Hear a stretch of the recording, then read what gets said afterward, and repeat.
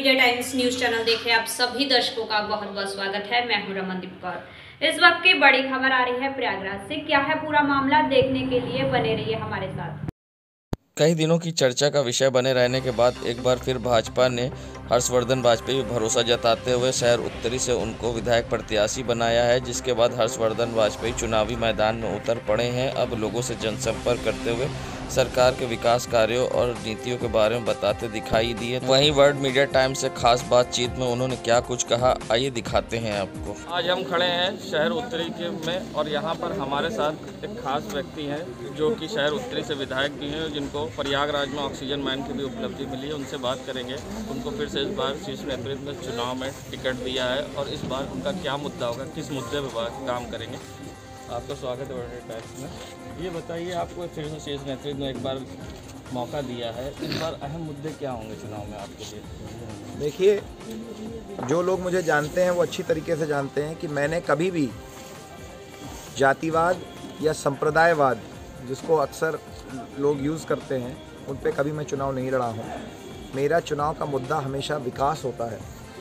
और जब हम लोग ने माननीय पार्षद बबलू सोनकर जी ने, माननीय हमारे वकील साहब ईशू सोनकर जी ने, पीयूष जी ने, अविनाश जी ने, जब हम लोगों ने राजनीति की शुरुआत करी थी तो हम लोगों ने संकल्प लिया था कि हम लोग नौजवान हैं, हम लोग को एक नई राजनीति लानी है। जो वही घिसी पिटी राजनीति होती थी कि केवल जातिवाद की बात करो और समाजवाद की बात करो और देश को आगे बढ़ने से रोक दो। उस पर नहीं चलना है। हम लोग को प्रयागराज को सिंगापुर की तरह एक विकसित क्षेत्र के रूप में डेवलप करना है स्मार्ट सिटी के रूप में डेवलप करना है। ये स्मार्ट सिटी की बात तो मोदी जी की सरकार बनने के बाद उठी, लेकिन हम लोगों का सपना था स्मार्ट सिटी बनाने का, जब हम लोगों ने राजनीति की शुरुआत करी थी छात्र जीवन में तो विकास हमारा मुद्दा है, और इसके साथ साथ हम, मैं आपके व्यूअर्स को कहना चाहता हूँ कि जहाँ दिल्ली की सरकार और बड़ी बड़ी सरकारों की खिल्लियाँ हुई बम्बई में और अन्य जगहों पे की तैयारी नहीं थी।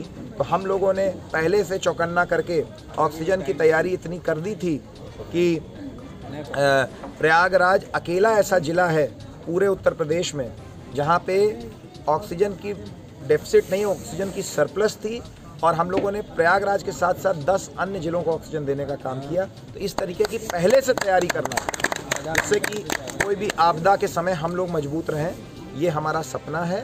तो विकास और इस तरीके की आपदा से लड़ने की तैयारी करने के लिए हम लोग चुनाव लड़ रहे हैं। आप ही की पार्टी सिटीजन अमेंडमेंट बिल लाई जिससे मुस्लिम समाज में काफ़ी बीजेपी को लेकर आक्रोश भी रहा है। क्या कहेंगे इस पर देखिए ये डराने का काम विपक्षियों ने किया है और मैं कोई मुस्लिम विरोधी नहीं हूँ। मुस्लिम समाज मुझे बहुत प्यार करता है आपको बताऊँ। यहाँ के जो मुख्य मस्जिद है मेरे इस क्षेत्र की नवाब यूसुफ मस्जिद, उसको जीर्णोद्धार करवाने का काम मैंने किया है एज भाजपा विधायक। यहाँ के मुख्य जितने कब्रिस्तान हैं, उनमें जो रास्ते होते हैं, उनकी जो बाउंड्री वॉल होती है, सबको बनवाने का काम मैंने किया है। न जाने कितने मुस्लिम समाज के लोगों को ऑक्सीजन सिलेंडर देने का काम कोरोना में किया गया और साथ में मेडिकल एड जो होती है मुख्यमंत्री के द्वारा, वो मैंने दिलवाने का काम किया है। तो आप इन सब कार्यों से आपको ये नहीं लग रहा होगा कि कोई मैं मुस्लिम विरोधी हूँ। तो इसलिए मैं आपको कहना चाहता हूँ कि सिटीज़न अमेंडमेंट बिल में मुस्लिम समाज को गुमराह किया है ऑपोजिशन के लोगों ने, क्योंकि मुस्लिम समाज जो सिटीज़न है हमारे देश के, उनके तो वही राइट हैं जो किसी हिंदू के हैं। जो हमारे देश के सिटीज़न हैं। लेकिन हमारे देश में बहुत से लोग ऐसे हैं, देखिए, हमारे देश की जो आर्थिक स्थिति है, मज़बूत है। बहुत से ऐसे देश हैं हमारे चारों ओर, जिनकी आर्थिक स्थिति उतनी मज़बूत नहीं है हमारी तरह अभी पाकिस्तान की बाउंड्री वॉल हम लोग जो बाउंड्री लगी है, अगर हम लोग उसमें कोई गैप दे दें, आपको मैं बता दे रहा हूँ, चाहे जितना लोग नफ़रत की बात करें केवल नौकरी प्राप्त करने के लिए लाखों पाकिस्तानी आ जाएँगे भारत में, क्योंकि वहाँ पे नौकरियाँ नहीं हैं। हमारा देश संपन्न है। तो ये फाइनेंशियल मामला है। ये दुनिया में है। मैक्सिको के लोगों को अमेरिका वाले रोकते हैं। वहाँ कोई धर्म की बात है क्या? दोनों क्रिश्चियन हैं। वो नौकरी की बात है। हर देश चाहता है कि, देखिए, हमारे पास अगर बीस हज़ार नौकरियाँ आती हैं तो मैं भारत के मुसलमानों को नौकरी में एडजस्ट करूँ कि बांग्लादेश के लोगों को एडजस्ट करूँ? क्यों करूँ?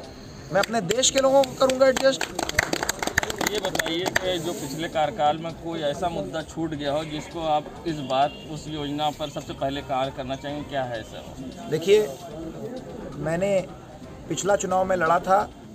इस मुद्दे पर कि मेरे क्षेत्र में बहुत ढेर सारे रेलवे फाटक थे और मुझे उसको रेलवे फाटक से मुक्त करना था उत्तरी को। मुझे बड़ी खुशी है कि कुंभ में मैंने आधों को अ, के ऊपर फ्लाईओवर बनवा दिए थे। जैसे कि रामबाग और गोविंदपुर और हाई कोर्ट और लोग मुझे ललकारते रहे कि, अरे, कुंभ में तो बहुत काम हो गया कुंभ के बाद पैसा ले नहीं पाओगे क्योंकि ये हो गया है कि कुंभ में बहुत पैसा खर्चा हो गया है। लेकिन उत्तरी विधानसभा अकेला ऐसा क्षेत्र है पूरे प्रयागराज में जिसमें कुंभ के बाद भी एक नहीं दो दो रेलवे फाटक के ऊपर फ्लाईओवर बनने का काम हुआ है। और छोटा बघाड़ा और दारागंज के लोगों के लिए जो बख्शी बाँध का फ्लाईओवर बन रहा है वो पूरी तरीके से कंप्लीट हो चुका है। और मैं मुझे बड़ी खुशी है आपको बताने में कि बड़ा बघाड़ा सादियाबाद और सलोरी क्षेत्र के लोगों के लिए जो सलोरी फ्लाईओवर बन रहे हैं बनना है उसका पहला पिलर बनना शुरू हो चुका है। विकास और जो बेरोजगारी का मुद्दा है इस टाइम सबसे खास आपके सामने चुनौती है। विपक्ष लगातार कह रहा है कि भाजपा को बेरोजगारी के मुद्दे पर घेर रहा है। इस पर किस तरह से कार्य करेंगे अपने आप विधानसभा क्षेत्र देखिए हम अ, बुरे वक्त में, कोरोना के टाइम में बहुत लोगों की आर्थिक स्थिति कमज़ोर हुई। उस समय हम लोग ने दो दो टाइम अनाज देने का काम किया कि बुरे वक्त में जब बेरोजगारी ज़्यादा है, तब लोगों का काम चल जाए। अब तो इकोनॉमिक स्थिति बहुत अच्छी हो गई है। आप देख रहे हैं नाइन परसेंट के ऊपर ग्रोथ इस बार है। एट परसेंट वर्ल्ड कह रही है और हमारी सरकार के आंकड़े भी यही बता रहे हैं। जो इंडिपेंडेंट आरबीआई के आंकड़े भी यही बता रहे हैं। तो अब तो रोज़गार जनरेट होंगे। लाखों की तादाद में जनरेट होंगे। और हमने देने का भी काम किया है। गाँव गाँव में लड़कियों को बैंक कंसल्टेंट के रूप में डेवलप किया गया है, जो गाँव के लोगों को के खाते बना कंट्रोल करेंगी और उनको ट्रेनिंग देंगी, उसमें उनकी कमाई होगी। पूरा पूरा स्टेडियम भर के हम लोगों ने टीचरों को नौकरी देने का काम किया है। बहुत से ऐसे मेरे साथी हैं जिनकी नौकरी इस बार लगी है, जो मेरे कार्यकर्ता थे, बेरोजगार थे, अब रोज़गार प्राप्त कर चुके हैं। तो अब प्राइवेट सेक्टर को भी हम बढ़ावा दे रहे हैं तो प्राइवेट नौकरियाँ भी लगेंगी और सरकारी नौकरियों को भी हम लोग रिलीज़ कर रहे हैं। और तो इसलिए ये तो वही वाली इस, ये जो देखिए, रोटी, कपड़ा, मकान, रोज़गार, इस तरह की चीज़ों को कहना बहुत आसान है। लेकिन जब आप डीप में, आंकड़ों में जाएँगे तो आप पाएँगे कि जो हमारा परफॉर्मेंस है, उतना परफॉर्मेंस किसी सरकार का आज तक रहा नहीं। तो ये थे हमारे साथ शहर उत्तरी के विधायक और प्रत्याशी भी हैं, हर्षवर्धन वाजपेयी जी। फ़िलहाल आरोप प्रत्यारोप के दौर तो जारी रहेंगे। फ़िलहाल ताज़ा खबरों के लिए वर्ल्ड मीडिया टाइम न्यूज़ पर बने रहिए सैयद मोहम्मद आमिर प्रयागराज। देश दुनिया की खबरों के लिए world media times news channel को सब्सक्राइब करें।